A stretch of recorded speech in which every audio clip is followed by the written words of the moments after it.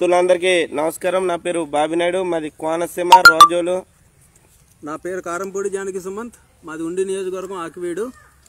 ఇప్పుడు ముఖ్యమైన విషయం ఏంటంటే మేమిద్దరం ఒక చోట కూర్చొని మాట్లాడడానికి మెయిన్ కారణం ఏంటంటే ఇప్పుడే మేమిద్దరం కలిసి ఒక ప్రెస్ మీట్ చూడటం జరిగింది. ఆ ప్రెస్ మీట్ ఎవరిదంటే గిద్దలూరు నియోజకవర్గం ఎమ్మెల్యే అన్నారు రాంబాబుది. అన్న రాంబాబు మాట్లాడుతూ జనసేన పవన్ కళ్యాణ్ గారు జనసేన పార్టీ ఏదో శవ రాజకీయాలు చేస్తుందని మాట్లాడుతున్నాడు. ఆ శవ రాజకీయాలు చేయడం కోసం వీళ్ళే చెప్పాలి మరి. వీళ్ళు చెప్తే మనం నేర్చుకుంటాం. అన్నారాంబాబు గారు శవరాజకీయాల గురించి మీ నాయకుడి గురించి మీరు అంత గొప్పగా చెప్పారు కదా. మీ నాయకుడి గారు రెండు వేల నాలుగులో రాజశేఖర రెడ్డి గారు సీఎం అయ్యాక రెండు వేల తొమ్మిదిలో ఆయన కూడా మళ్ళీ సీఎం అయ్యాక ఆయన చనిపోయాక రా- శవరాజకీయాలు మొదలుపెట్టింది ఎవరో మీ నాయకుడా?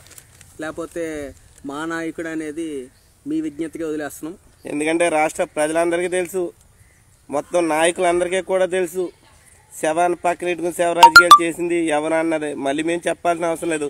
మళ్ళీ మీరు శవ రాజకీయాలు అంటూ మాట్లాడటం హాస్యాస్పదమైన విషయం ఇది అన్నారు రాంబాబు గారు. పార్టీలో ఇప్పుడు ఎమ్మెల్యేల కింద మినిస్టర్ల కింద ఫాలో అవుతున్న ఎంతో మంది తండ్రి సేవను అడ్డు పెట్టుకుని సంతకాల సేకరణ చేశారని చెప్పేసి మీ మీద ఆరోపణ చేసిన వాళ్ళకే మీరు పార్టీ టికెట్లు ఇచ్చి వాళ్ళని ఎమ్మెల్యేని చేసిన మీరు శవ రాజకీయాల గురించి మాట్లాడతాం అనేది హాస్యాస్పదం అది.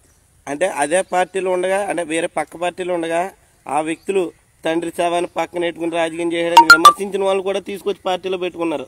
ఎందుకంటే మొత్తం ఇప్పుడు ఉన్న ఎలక్షన్లో ఇప్పుడున్న ఎమ్మెల్యేలు అందరూ ఒకే లైన్లో మేమే దోచుకోవాలి మేమే ముందుకు రావాలన్న ధోరణిలో ఉన్నారు కాబట్టి మీరు మీరే వ్యక్తిగతంగా దూషించుకుంటున్నారు. మళ్ళీ మీరే కండవాలు కప్పుకుని మీరే వాళ్ళతో బాయ్ బాయ్ అంటున్నారు. ఇంకొక చిన్న విషయం ఏంటంటే సుమంత్ ఈ అన్న రాంబాబు అంటున్నాడు వీడి మీద ఎటువంటి అవినీతి ఆరోపణ కేసులు కానీ ఏమి లేవంట. అన్నారాంబాబు గారు మీరు అప్డేట్లో ఫైవ్ నాట్ నైన్ ఇచ్చారు ఫైవ్ నాట్ సిక్స్ ఇచ్చారు అదేంటది ఫోర్ ఫిఫ్టీ టూ ఇచ్చారు. సాధారణంగా ఫోర్ ఫిఫ్టీ టూ అనేది మరి నాకు తెలిసిన పరిజ్ఞానంలో ఎవరినైనా ఏదైనా బాధ పెట్టడం లేదా దాడి చేయడం అలాంటి సమయ- సందర్భం లేకుండా నోరు ఉంది కదా ఏది పడితే మాట్లాడేస్తే ఫోర్ ఫిఫ్టీ టూ సెక్షన్ కింద కేసు నమవుద్ది ఆ కేసు కూడా మీ మీద ఉంది అన్న రాంబాబు గారు. ఫైవ్ నాట్ నైన్ ఉంది. క్రిమినల్ కేసు అది. భాష భాష నువ్వు మాట్లాడే భాష మనం మాట్లాడావు కదా. కారులో కూర్చుని మా జన సైనికుడు ప్రశ్నిస్తే నువ్వు వాడిన పదజాలాలు ఉన్నాయా? పువ్వా గివ్వని అంటే నేను ఆ మాట మాట్లాడలేను. ఈ వ్యక్తిగత ఆరోపణలు వ్యక్తిగత పదజాలాలతో దూషించడానికి అదేవిధంగా ఆడవారిని కూడా లెక్క చేయకుండా ఆడవారిని దూషించిన దానికి ఈ ఫైవ్ నాట్ నైన్ సెక్షన్ ఉంటుంది అన్న రాంబాబు గారు. ఇది ఇవన్నీ మీ మీద ఉన్న క్రిమినల్ కేసులు ఈ ఫైవ్ నాట్ సిక్స్ సెక్షన్ ఏంటంటే బెదిరింపులు కక్ష సాధింపు చర్యలు. మీరు ఎవరినైనా బెదిరించినా చేసినా చంపేస్తాం దీనికి దీనికి సంబంధించింది. ఇటువంటి four fifty two five not six five not nine సెక్షన్లు పెట్టుకుని ఇది కూడా అఫిడవిట్లో పెట్టి మీరు కూడా మాట్లాడుతుంటే ఎలా ఉందండి అన్న రాంబాబు గారు? హాస్యాస్పదంలో నెంబర్ వన్ హాస్యాస్పదం. మామూలు హాస్యాస్పదం కాదు ఎత్తనేదో నేను ఇంత తోపుని తురాన్ని అందుకే గెలిచాను. నైన్టీ ఫైవ్ పర్సెంట్ సిమెంట్ రోడ్లు వేసాడంట సుమంతో. ఇంతవరకు బాగానే ఉంది. రాంబాబు గారు సాధారణంగా సిమెంట్ రోడ్లు ఎందుకు వేస్తారంటే విలేజ్లో సిమెంట్ రోడ్లు అనేది బలంగా ఉంటాయి సిమెంట్ రోడ్లు అనేది పోకుండా ఉంటాయి అని అంతేగాని మీరేమో ninety percent ninety percent cement రోడ్లు వేసారు అంటే వేసారు. మంచి పని చేశారు అనుకున్నా. కానీ ఇప్పుడు రోడ్లు ఎందుకు లేవంటే అతను చెప్పిన కారణం ఏంటో తెలుసా? మొన్న వరదలు వచ్చి కొట్టుకుపోయి అంట. అంటే నాకు తెలిసిన పరిజ్ఞానంలో సాధారణంగా తార్ రోడ్లు అయితే కొట్టుకుపోతాయండి మరి సిమెంట్ రోడ్లు కొట్టుకుపోయినాయి అంటే మరి దాన్ని బట్టి మీ పాలన ఎలా ఉందనేది అర్థమైపోతుంది రెండు పాలన. అది మీరే చెప్తున్నారంటే సిమెంట్లో నాణ్యత లేదా? రెండు వేల తొమ్మిదిలో మీకు పిఆర్పిలో పట్టాభిషేకం కట్టి మీరు ఎమ్మెల్యే అయ్యారు. తర్వాత మీరు రోడ్లు వేసాను అంటున్నారు. ఒక ఎమ్మెల్యేగా మీరు సేవలు చేశానన్నారు. మరి నాణ్యతతో కూడిన సేవ చేయాలి సార్. అంతేగాని నాణ్యత లోపంలో సిమెంట్ రోడ్ అంటే వీళ్ళ పరిపాలన గురించి వీళ్ళ నోటితోటే చెప్తున్నాడు కదా. ఈ అన్న రాంబాబు పరిపాలన ఎలాగుంది అన్నది ఒక్క మొక్క చాలు. అంటే ఆ సిమెంట్ రోడ్లు వేయరంట నైన్టీ ఫైవ్ పర్సెంట్. కానీ వరదలు రావడం వల్ల కొట్టుకుపోయింది అంటే సిమెంట్. నాణ్యత లేని సిమెంట్ వాడు ఉంటారు నాణ్యత లేని ఇసుక వాడు ఉంటారు కంకర వాడారు లేకపోతే ఈ నల్ల బొగ్గులు అవి ఉంటాయి కదా. ఈ నల్లగా ఉన్న బొగ్గులు లాంటి చేస్తాను చూసి తెలియదు మరి. ఏదో అంటున్నారు మాది వాడుక భాష అది ఇది అని. వాడుక భాషలో పువ్వు అనే పదం మరి ఎటు సైడ్ ఉండదు నాకు తెలిసి. అమ్మి నీ అప్డేట్లోనే పెట్టు నీ వాడుక భాషకు సంబంధించి four fifty two five not six నీ భాష నువ్వు సరిగ్గా మాట్లాడవు కాబట్టి నీ మీద కేసులు నమోదై ఉన్నాయి ఇప్పటికీ. కావాలంటే గూగుల్లో సెర్చ్ చేసుకో. నువ్వు అప్డేట్లు ఏమి ఇచ్చావన్నది.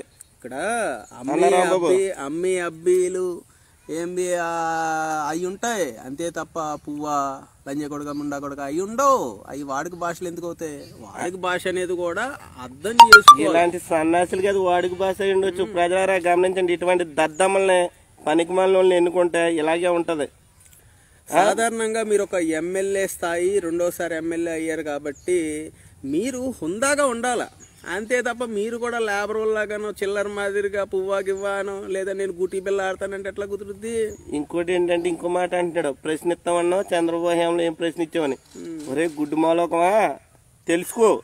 ఒకసారి గుంటూరులో గుంటూరులో ఒకసారి స్టేజ్ మీద దద్దరిల్లిపోయింది స్టేజ్. అక్కడ చెప్పాడు కోసాలు కదుపుతామని కోసాలు కదిపి ఇరవై మూడు సీట్లకి అయిందండి వాళ్ళ కారణం. That is Pavan Kalyan. Pawan Kalyan గారు మాట్లాడితే- గెలుపోవడం పక్కన పెడితే చెప్పింది చేస్తారు. నీకు దమ్ము ఉంటే గెలువు. చూసుకుందాం. మీ మీ చేతకంతనం మీరే చెప్తున్నారు. ఇందాక ఏంటంటున్నారు? పవన్ కళ్యాణ్ గారును మీ మీద పోటీ చేయాలా? మీరు నగ్గేస్తే మీ పవన్ కళ్యాణ్ గారు పార్టీ తీసేయాలా? పవన్ కళ్యాణ్ గారు నగ్గితే మీరేమో జైలుకి వెళ్ళిపోతారా? ఏమని మాట్లాడుతున్నావా పెద్ద మనిషి నువ్వా? పోనే. దమ్ముగా మగాడుగా పోనే. నేను నా ఫోటో పెట్టుకుని నేను ప్రజల దగ్గరికి వెళ్తానంట్లా నీ నాయకుడు ఫోటో పెట్టుకుని వెళ్తానంటున్నావు అక్కడ తెలియట్లేదా నీ చేతకంతాను నీ నాయకుడిని చూసి ఎవరైనా వేస్తారా? నిన్ను చూసి వేస్తారా లేదా? అది కదా అది చెప్పు అన్నరాంబు ఓ, మగాడిలాగా నన్ను చూసి నా నియోజకవర్గ ప్రజలు నాకు ఓటేస్తారు. నేను మా నాయకుడి ఫోటో పెట్టుకోను. మా నాయకుడి గారి తండ్రి ఫోటో నేను పెట్టుకోను. నా ఫోటోతో నేను వెళ్తా. నేను చేసిన అభివృద్ధిని చూపించి ప్రజలను ఓట్లు అడుగుతా అన్న దమ్ము నీకుందా? ఎస్ అన్న రాంబాబు సమాధానం చెప్పలేను దీనికి ఖచ్చితంగా జనసేన అడుగుతున్నావు కదా. మేము ఇస్తున్నాం ఛాలెంజ్ నీ ఫోటోతో. నువ్వు అభివృద్ధి కాలేదు thanks for watching Ratnam media for more videos please do like share and comment don't forget to subscribe